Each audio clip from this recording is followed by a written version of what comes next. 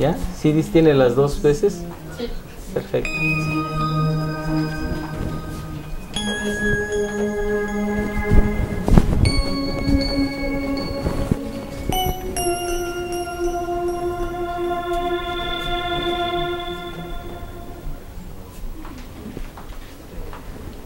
¿Ya? Ya. Buenos días. Estamos en un programa especial del IAPA, del Instituto para la Atención y Prevención de las Adicciones del Distrito Federal. Y nos estamos representando. Digo representando porque nos presentamos otra vez. Tenemos ya una colaboración ya de hace algún tiempo con ellos y hoy nos acompañan para refrendar este compromiso el doctor Miguel Ángel Mendoza Meléndez. Él es director ejecutivo de investigación y evaluación del IAPA. Buenos días Miguel Ángel, ¿cómo estás? Buenos días, gracias, buenos días. Bienvenido Miguel Ángel. Y también está con nosotros Pablo Álvarez. Él es eh, coordinador de proyectos en el IAPA. ¿Cómo estás Pablo? Buenos Muy días. bien César, buenos días. Gracias por la invitación. Pues estamos muy gustosos de tenerlos aquí con nosotros porque vamos a tener una charla sobre las actividades que tiene el IAPA respecto a la prevención de las adicciones, cómo están haciendo investigación y también qué trabajo de difusión es el que tienen. Así que primero voy a darle la palabra al doctor Miguel Ángel. Miguel. Gracias, buenos días nuevamente.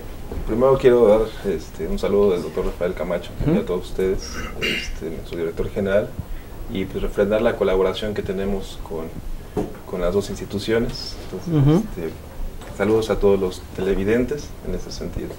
Y pues aquí el gusto de poder platicar contigo los proyectos de prevención y de investigación y los demás proyectos que podamos tener aquí en el IAPA con ustedes. Déjame preguntarte, ¿a qué se dedica el IAPA? Ok. Mira, el IAPA es una institución del gobierno de la Ciudad de México. se fundó en el 2011 eh, por, eh, digamos, iniciativa de la Asamblea Legislativa. se, instituye, una ley para la atención y prevención del consumo de sustancias. En esa ley se da la atribución de la fundación del instituto y empieza a, trabajar. El instituto es un órgano rector.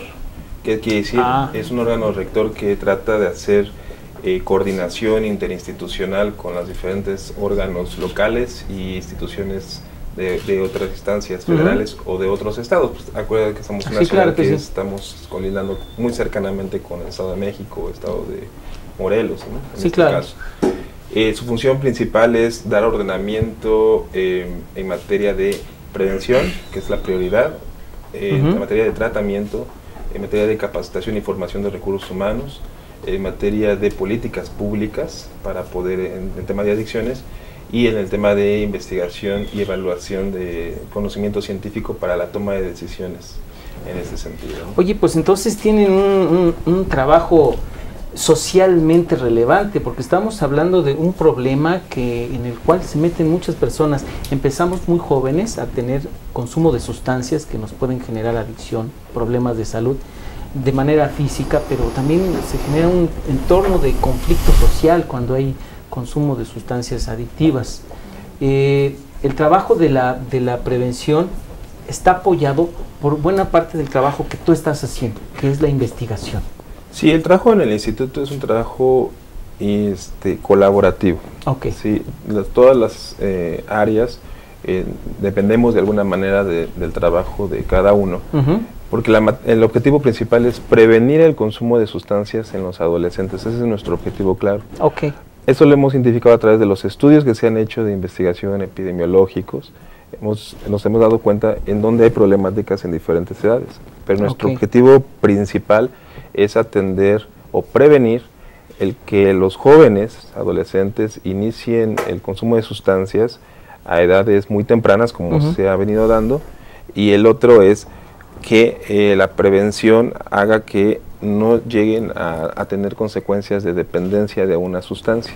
Déjame detenerme ahí un poquitito, porque tú hablas de investigación científica para la toma de decisiones. Este trabajo que estás, realizando, que estás realizando tú como director ejecutivo, platícame.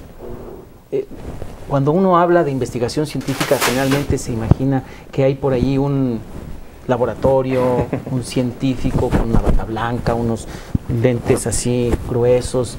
Ese tipo de investigación es la que hacen o cómo la hacen quienes están trabajando contigo. Ok, es una muy buena pregunta y, tocas un tema que a mí me, fascina como, como, investigador. Este, generalmente construimos estereotipos de lo que es un científico, Sí, ¿no? claro. que puede ser una bata blanca y un laboratorio. Eh, la investigación científica tiene diferentes rubros. Hay investigación básica que se lleva a cabo en laboratorios, en instituciones universitarias principalmente, que es la, la tradicional, que es muy importante. Está la investigación también orientada a la solución de, de problemáticas que tiene que ver con tecnologías eh, de todos sí, los sí. tipos. Está la innovación. Y este, pero un rubro importante es la investigación que nos oriente a, a- a tomar decisiones para poder solucionar problemas. Y en el área de la salud, en el tema de adicciones, de salud mental, es una de las áreas donde le llamamos eh, investigación de traslación o investigación puente, Oh, que requerimos de la investigación básica de la evidencia para la toma de decisiones en implementar este, programas, modelos, acciones, ¿no?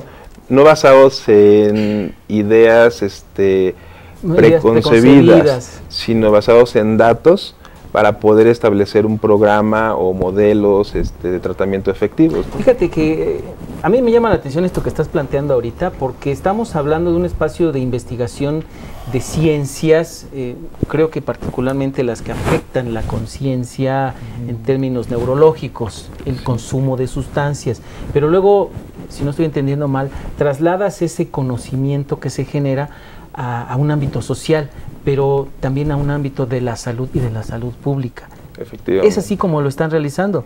Sí, esa es la idea principal. Eh, por ejemplo, nosotros, nuestro trabajo en el instituto y en todas las áreas, en el caso de la ciencia en investigación, en, en- en lo que trabajamos nosotros es establecer colaboración, una red de colaboración con otros investigadores científicos.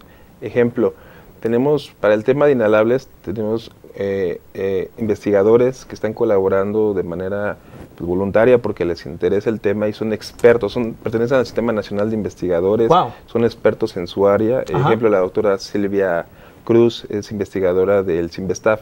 Ella es experta en investigación eh, en neurociencia y farmacología en Wow. el tema de inhalables. Ok. ¿no? Entonces, ella ha, ha venido colaborando en, en algunos aspectos desde su ámbito del conocimiento de las ciencias básicas.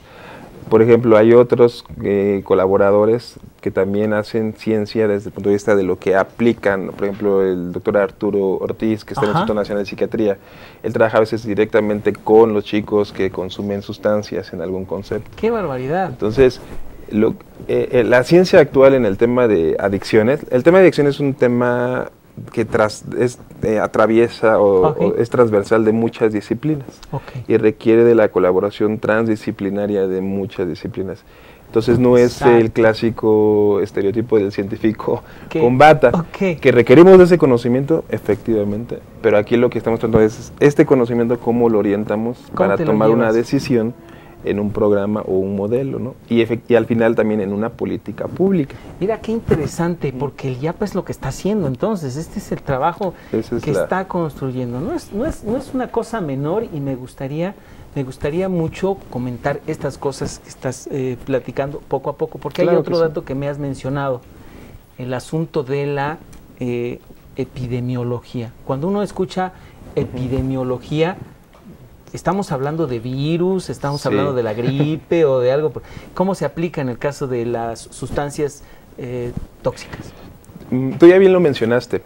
En, este ejemplo de las adicciones eh, tenemos el, el problema de, de que es una cuestión de salud mental, ¿sí? una enfermedad este, de un problema social. Ok. ¿sí? También tenemos que medirlo de una manera en poblaciones grandes, eh, como epidemiología, ahí, lo, ahí tocó el tema.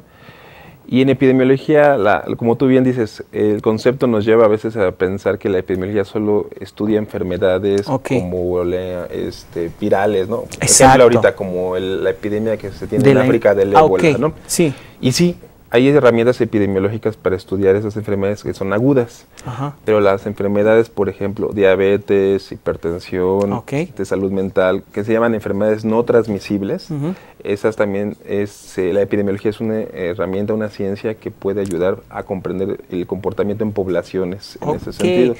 Y al final eso es salud pública. ¿no? Exacto. Es la- una ciencia de la salud pública que se basa en otras disciplinas. ¿no?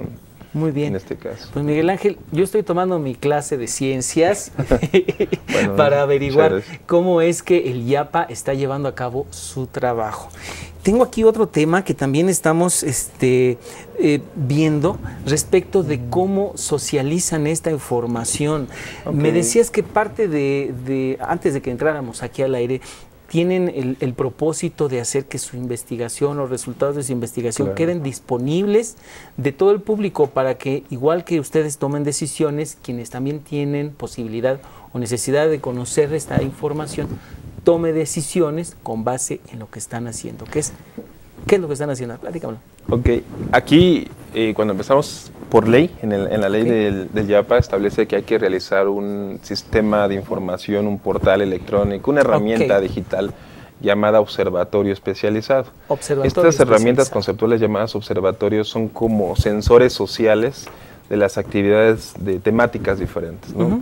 Entonces, el objetivo que tenemos en el instituto, uno de tantos objetivos, es eh, la transmisión del conocimiento, de la evidencia que hemos ido recopilando de las diferentes áreas que tenemos en el instituto, formación, tratamiento, y eh, subirlas a un portal informático digital, al cual le denominamos observatorio, que ya está en línea, es la, la página es http de, dos, diagonal, dos puntos, oe.yapa.df.gov.mx. Oh, Pero bueno, en Google le pueden poner OE YAPA. ¿no? OE YAPA. Y, OE YAPA, y ahí aparece. Y ahí pueden encontrar información de las encuestas que te decía. Ahí está hay, información sobre las encuestas, información sobre artículos científicos, muy, científicos, que los investigadores, ese es el lenguaje de ellos, o de divulgación trabajos que han hecho el área de comunicación este, educativa y el área de prevención en materia de videos, eh, dirigido a los jóvenes, ¿no? Muy bien. Este, de mucha creatividad.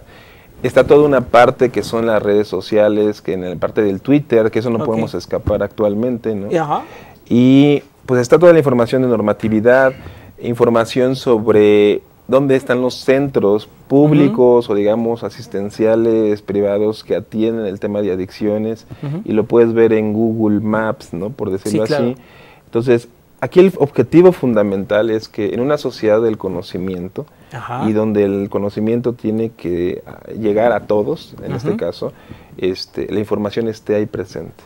Afortunadamente en esta ciudad, pues casi el, con las conexiones digitales vamos a decir que es un 90%, ¿no? La población en esta ciudad y, los jóvenes principalmente, pues casi todos tienen conexiones digitales por los smartphones, todo este tipo de cosas, ¿no? Muy bien. Pues ahí está la información, ¿eh? es dar la información. Ahora, la información no es suficiente, hay que hacer acciones. Ahí es donde vamos a Pero ahí también es donde se enlaza, por ejemplo, prevención y tratamiento. Este Déjame entonces darle con, este, con esta introducción, muy rica introducción del trabajo que están haciendo nuestros amigos del YAPA. ¿Te puedo decir mi amigo? Claro que sí. Por favor, vamos a ser los amigos del YAPA, todos, todos, todos. Y sobre todo de gente que trabaja allí, que es Pablo, como Pablo que es el trabajo que está haciendo Pablo enlaza precisamente lo que Miguel Ángel nos ha explicado. Es decir, ya tenemos la investigación, ya tenemos las estadísticas, ya tenemos la evidencia científica y después, ¿cómo lo hacemos operativo? Y ahí es donde entra Pablo. Pablo, ¿qué es lo que haces en el IAPA? Mira, César, yo quiero comentarte en esta ocasión, digo, no es la primera vez que estoy aquí en este espacio, eh, vengo seguido aquí con lo de GSTV, pero hoy te quiero contar una experiencia que hemos tenido las últimas dos semanas. Okay porque desde, la, desde el YAPA hemos estado trabajando específicamente con, ahora con lo que son sociedades de alumnos. Y ha sido un trabajo muy interesante. De hecho, ayer acabamos con las... Son, hubo cuatro horas de operación áreas técnicas y ayer acabamos con la última. Y nos dimos cuenta que, bueno, trabajar con secundarias es complicado porque son muchas secundarias, son muchos alumnos y hay que hacer lo posible para que la mayoría tenga la información posible y la mayoría tenga acceso a mm, los programas. Pues decimos, bueno, ¿cómo le podemos hacer para empoderar a la gente dentro de las escuelas?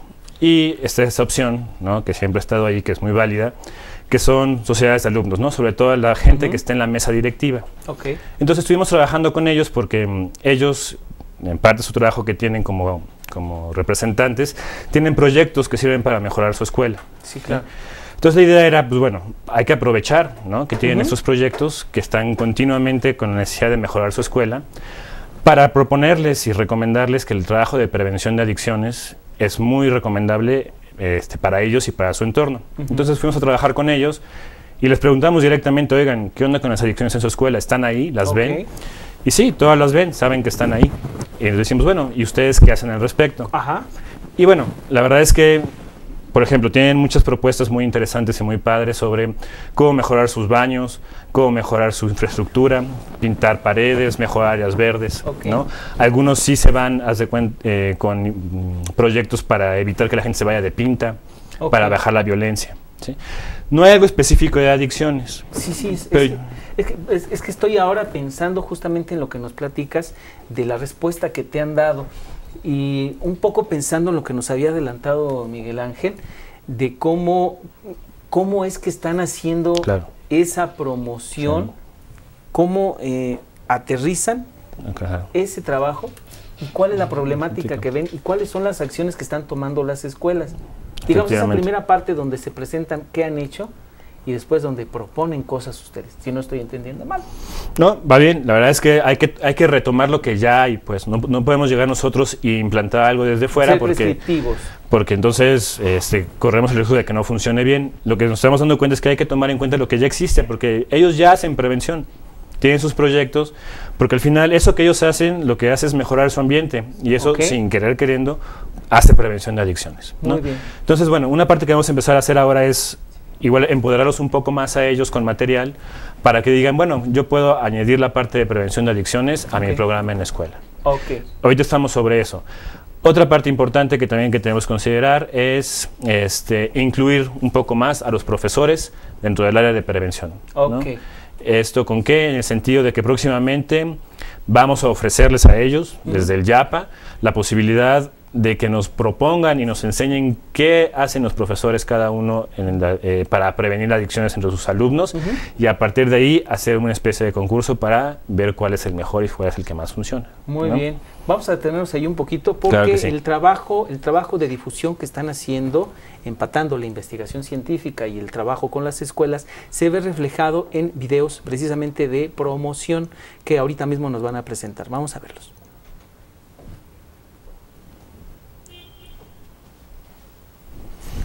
Qué trabajo tan padre es el que se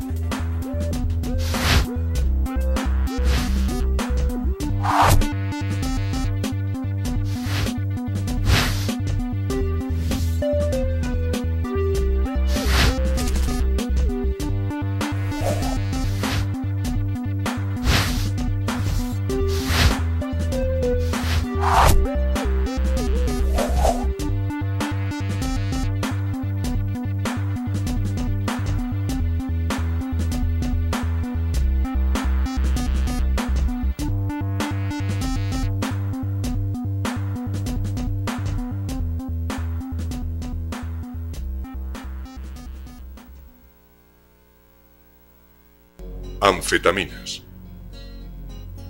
Conocida como anfetas, speed, centramina. Nombre químico o fórmula. Sulfato de anfetamina.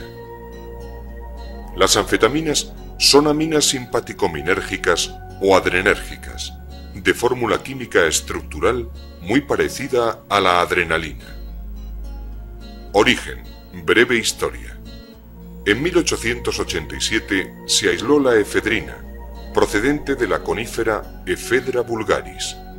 Era una sustancia con propiedades estimulantes, dilatadora de los bronquios y antihemorrágica. Fue la primera de las aminas del despertar.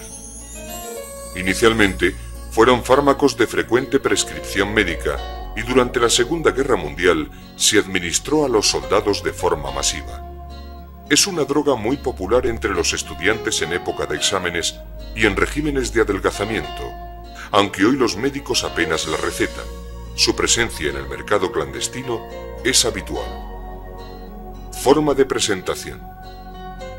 Tabletas, cápsulas, en polvo, con texturas y colores diferentes, e inyectables. Su pureza es variable. Vía de administración. El método más común es la administración oral también pueden inyectarse o esnifarse. Efectos.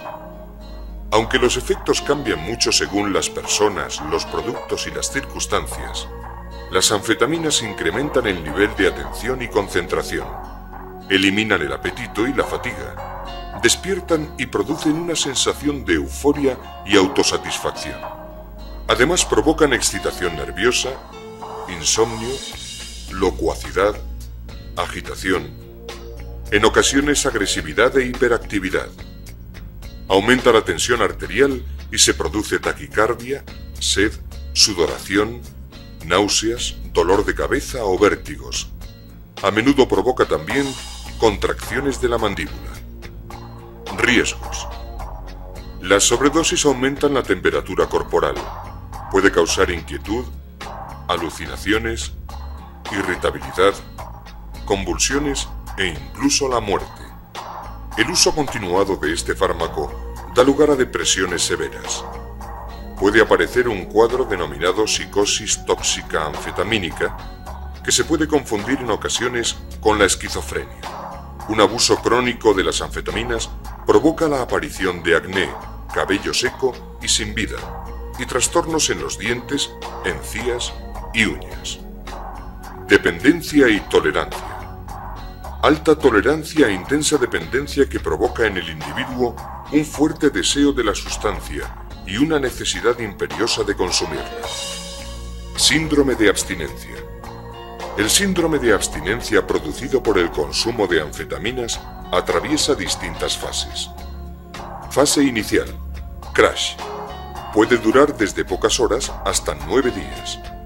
Produce cambios bruscos de humor, depresión, falta de energía, ansiedad, insomnio y un intenso deseo de consumir. Fase intermedia o de abstinencia. Dura de una a diez semanas y produce fatiga, falta de energía y de motivación y depresión. Y fase indefinida, en la que pueden aparecer episodios de intensa necesidad que hagan recaer al consumidor. Pueden aparecer ideas suicidas. Tendencias de consumo. El consumo de anfetaminas en España ha aumentado ligeramente. El mayor consumo se produce entre los varones de 15 a 29 años. La edad media de inicio se sitúa en los 18,7 años. Situación legal. Su consumo y distribución están permitidos bajo estricto control médico. Al margen de este uso, está perseguida su elaboración, tráfico, promoción o venta, ya que el Código Penal las incluye entre las drogas que causan grave daño a la salud. Por lo tanto, aquellas personas que promuevan, favorezcan o faciliten su consumo serán penalizados. También será penada la conducción de un vehículo bajo sus efectos. El consumo en lugares, vías, establecimientos o transportes públicos de esta sustancia no es considerado un delito penalizado, pero sí constituye una infracción sujeta a sanción administrativa que puede ser sustituida por un tratamiento de deshabituación adecuado. Eh, pues ya estamos de regreso, ¿sí? Una, dos.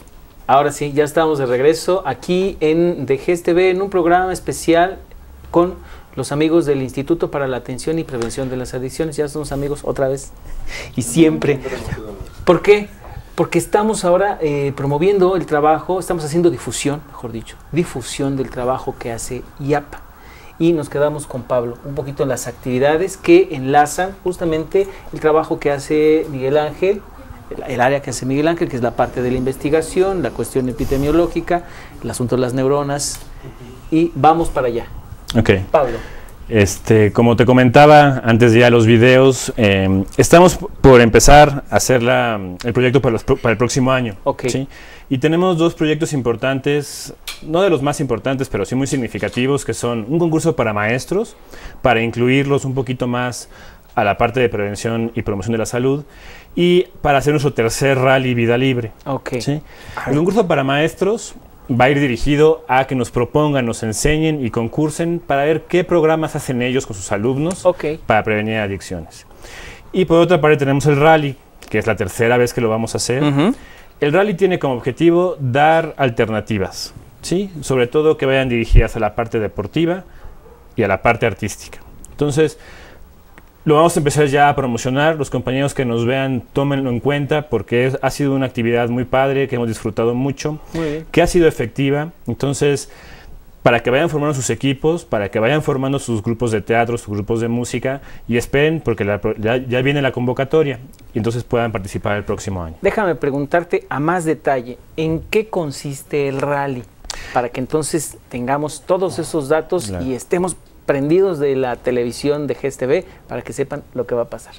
El rally consiste en promover, que los, los- las chavas y los chavos hagan equipos ¿sí? Y, realicen una actividad sana que sea alternativa a un consumo. O sea, nosotros sabemos que podemos dar mucha información al respecto de qué hacen las drogas, cómo funcionan, qué daños, pero si tú no das una, una alternativa al consumo, ¿no? Eso se queda como a medias. Entonces la idea es que, bueno, que los hacer lo posible por promover esas actividades, sana. una vida sana, una vida en convivencia, una vida en competencia y apoyar y, y- y ofrendar, ¿no? Ofrecer, Ofrecer. este, premios para que los chavos se sientan este, cómodos de haber eh, Eh, participado. De ahí ¿no? la idea de, de rally o carrera, como que todos están en un concurso, si no estoy entendiendo mal. Exacto, son concursos que van dirigidos de la parte deportiva, se juega fútbol, se juega Ok. básquetbol, se juega voleibol, ¿no? tanto femenil como varonil, y en la parte artística tenemos el teatro, tenemos grupos de música, tenemos danzas de distintos tipos, tenemos este pintura. ¿Puedo ¿no? adelantar que es como un festival? Pues sí, de repente cuando se arman las finales de área y las, Sí. y las finales, es como un festival, ¿no? La gente va, los chavos concursan, se, se sienten presionados, se sienten emocionados porque están concursando, porque pueden perder o pueden ganar. Entonces sí, es un festival. Pero en el fondo, en el fondo está la idea una vida sana. Una vida sana, una, ra- una vida libre de adicciones. Ah, es- ahí está, ahí está la diferencia. Una vida libre de adicciones. adicciones. Digamos, este es el background, lo que nosotros estamos promoviendo desde la Exacto. parte de atrás y abajo para que los muchachos eh, eviten engancharse con el consumo de sustancias que les provoquen eh, daños. eh, diferentes que no dependan de la interacción de una sustancia. ¿no? O sea, se Ah. puede- aquí el objetivo es eh, básicamente que se puede hacer interacciones, divertirse como joven sin necesidad del depender de una sustancia para lograr eh, ser feliz, ser placer en el sentido grupal. ¿no? Te, te- te voy a, eh, te voy a echar un torito. A ver. Porque tú has dicho ahora, es que se puede convivir sin necesidad de estar consumiendo.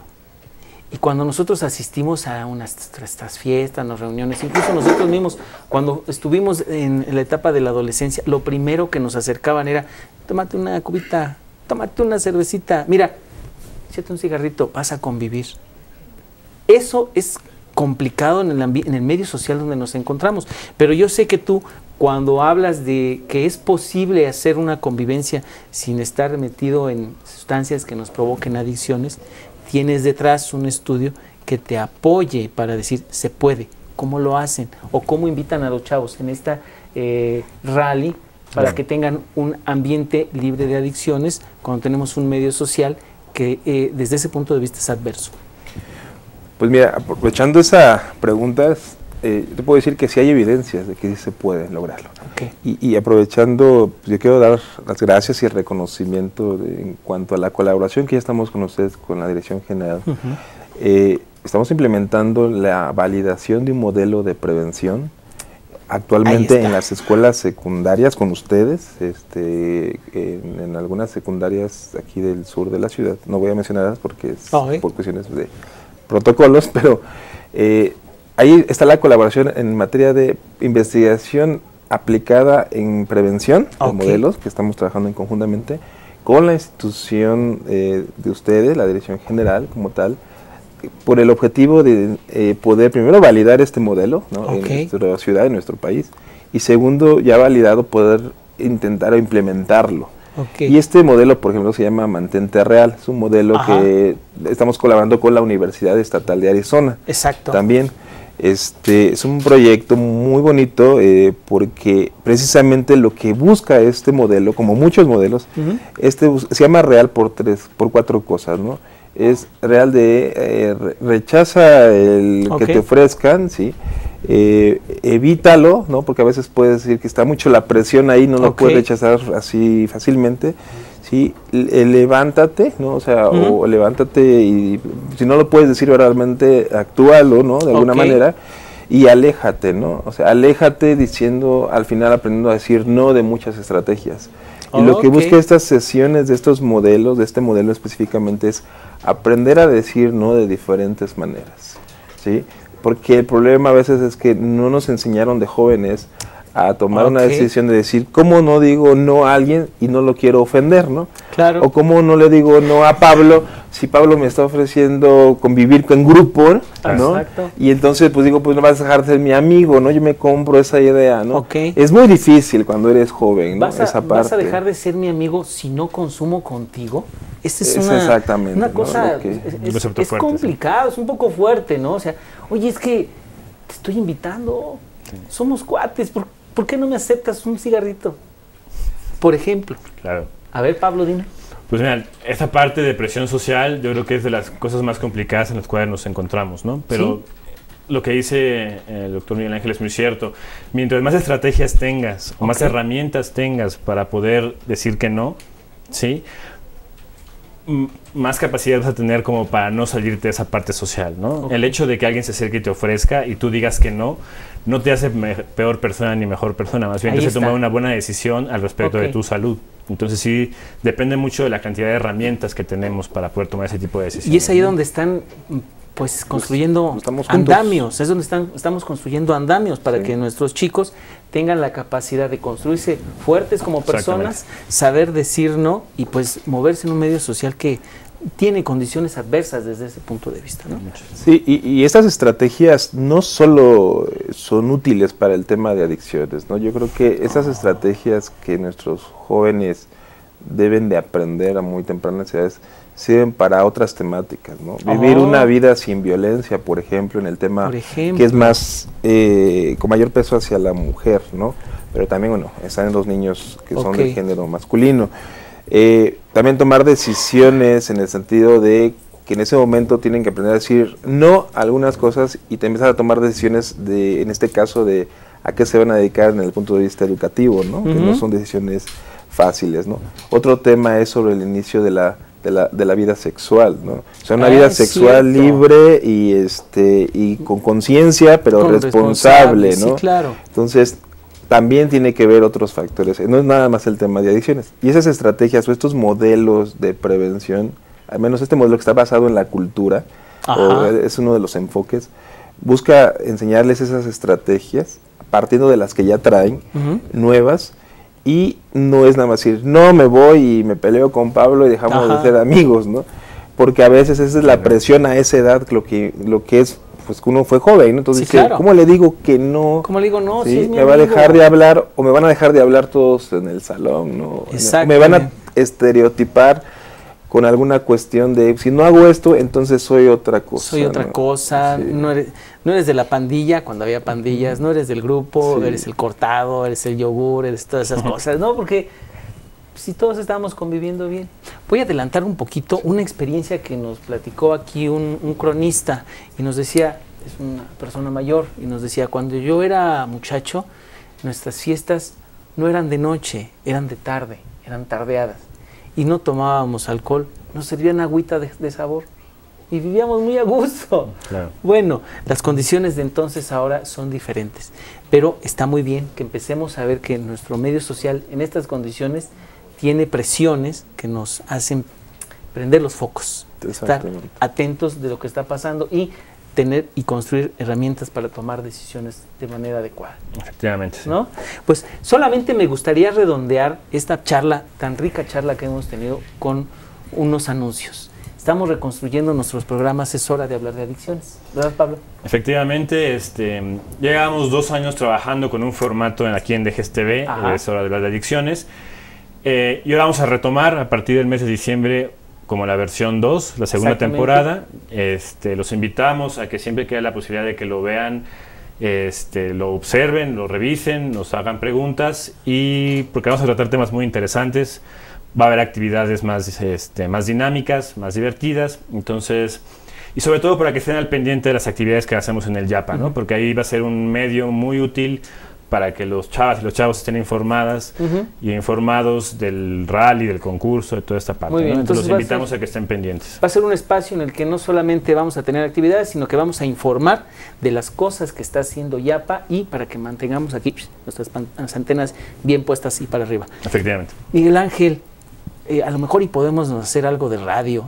Pues, podría ser. No, vamos a ver, vamos a empezar. De hecho, vamos a empezar a producir allí algunas eh, cápsulas de radio. Ya las van a escuchar y van a darse cuenta que estamos trabajando a marchas forzadas. ¿Verdad, Miguel? Yo creo que sí. Bueno, pues yo estoy dispuesto. Gracias a la invitación. Eh, pues a mí me gustaría, si me permites agregar, eh, yo soy alguien que le gusta, le fascina la ciencia, ¿no? En ese sentido.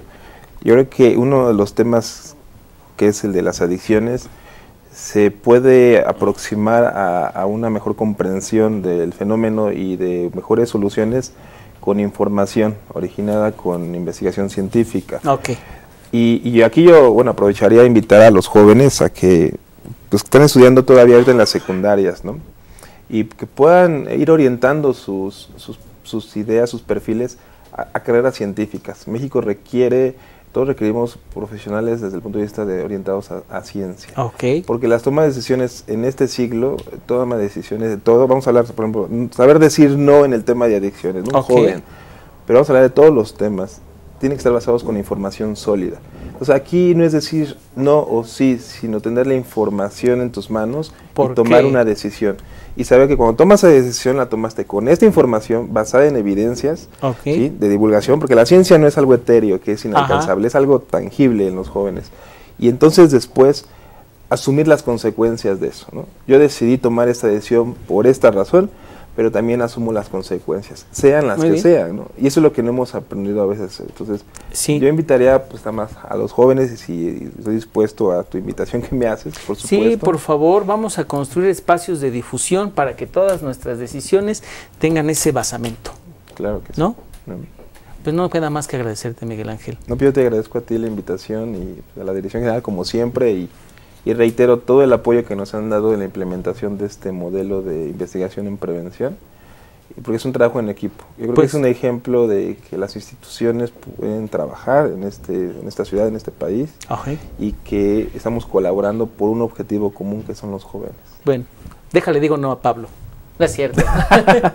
Pablo, muchas gracias por estar con nosotros. Igualmente, gracias por invitarme. Estamos aquí siempre en DGSTV a ver qué es lo que sigue, ¿no? Va a estar muy interesante. Muy bien, se va a poner bonito. Estén al pendientes. Estuvimos hoy con el doctor Miguel Ángel Mendoza Meléndez, científico mexicano, director ejecutivo de investigación y evaluación del IAPA. Gracias, Miguel Ángel. Gracias a ti. Y con Pablo Álvarez, coordinador de proyectos Muchas gracias. Igualmente, muchas gracias. Yo soy César, el Sensei Medrano. Esto fue un programa especial de la Dirección General de Educación Secundaria Técnica. Nos vemos. Hasta luego. Lo primero que ven en ti es esto. Tu rebeldía, tu música, tu seguridad, tu moda, tus gustos, tu look. Y lo que también deberían de ver es lo que hay detrás de esa imagen. Lo que importa está en tu cabeza. Lee 20 minutos al día. Consejo de la Comunicación, voz de las empresas.